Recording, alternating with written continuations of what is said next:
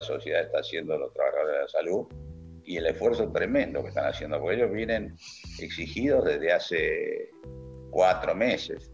Y hoy estamos en un momento que si bien se aflojó un poquito la tensión en el AMBA, porque yo todos los días veo cómo está eh, la cantidad de camas ocupadas, hoy tenemos mayor oferta disponible de camas que, que, la semana pasada, por ejemplo, pero sigue siendo de extrema atención.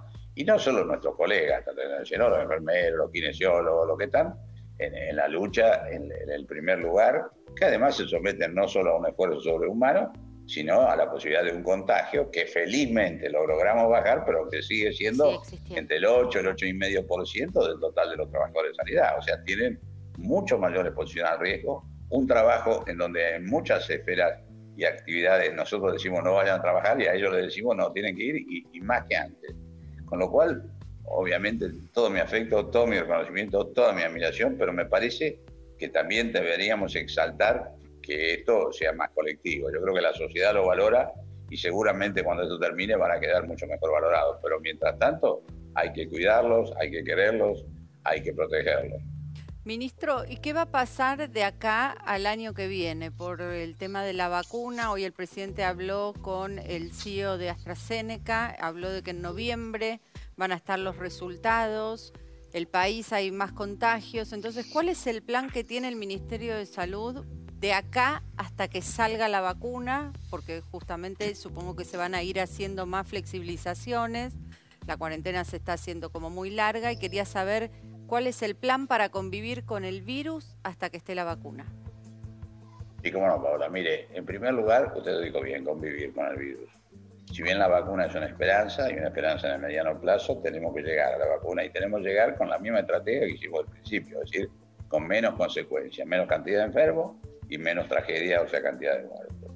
Para eso, la única receta que hay es la vieja receta, cuidarnos, aislarnos, higiene, tapaboca, y, no aflojar, porque hemos hecho un esfuerzo notable y por eso conseguimos resultados menos peores, permítanme el barbarismo, pero son siempre malos. Una, vez, una cosa que tiene muerte no puede decir uno que sea exitoso. Lo que uno trata es de, de, atemperar el impacto primero, que lo hemos logrado porque tenemos una de las tres tasas de mortalidad por millón más baja de América. Pero en segundo lugar, que además cada vez que necesite a alguien, tenga el servicio que necesita en todo el país. Eso hicimos una enorme expansión del sector y hoy ya no es el problema crítico los respiradores, el problema crítico eh, el oxígeno. El problema crítico hoy son los trabajadores, como bien decía humano, hoy, por eso, claro, porque están cansados, están sobre, sobre este, cansados. Por ejemplo, las residencias se terminaban ahora en julio. No, en julio no, en septiembre. Claro. La llevé hasta diciembre. ¿Por qué? Porque no podemos hacer un cambio de residente y sobre todo lo de terapia intensiva en el momento en que justo entren los nuevos que no saben y se vayan los que saben.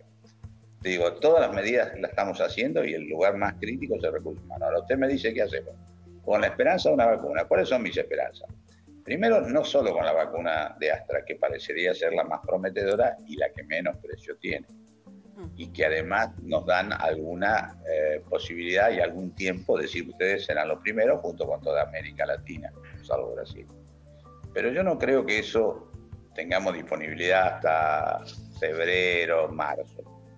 ¿Por qué? Porque si bien la vacuna va a estar terminada de fabricar, como le dijeron al presidente, eh, por ahí, o, pasada a fase 3, aprobada, eh, sobre noviembre, por ahí, después viene un periodo de estabilización de la vacuna, de envase de la vacuna, distribución de la vacuna, no es tan fácil tener una cosa masiva. Por eso es que nosotros, si bien tenemos mucha fe en esta vacuna, trabajamos para toda la vacuna disponible que están en primera línea del desarrollo. Por eso la otra de Pfizer que ya anunciamos, por eso la semana pasada eh, aprobamos en el ANMAT eh, la, fase clínica de otra vacuna que viene a hacerse en la Argentina, que es también un gran éxito, que es una vacuna china. Mañana yo tengo una videoconferencia con los chinos, pero ya prácticamente está decidido que hagan también eso en la Argentina. Es decir, hemos colocado a la Argentina en primera línea del sistema científico mundial y la verdad qué sé yo, le cuento mi fantasma. ¿Cuál era mi fantasma? Que la vacuna apareciera y que apareciera la vacuna y que fuera del primer mundo, o que fuera del no, que, no que tuviéramos acceso a esa vacuna. Y claro, la verdad, nosotros en verdad todos sabemos lo que son las diferencias de un lado y del otro. Entonces,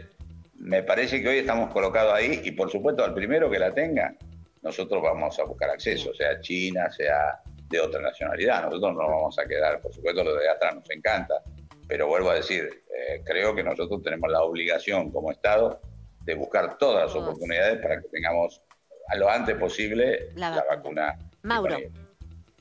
Ministro Mauro Zeta lo saluda. Le quería preguntar eh, un tema que desde el arranque siempre no lo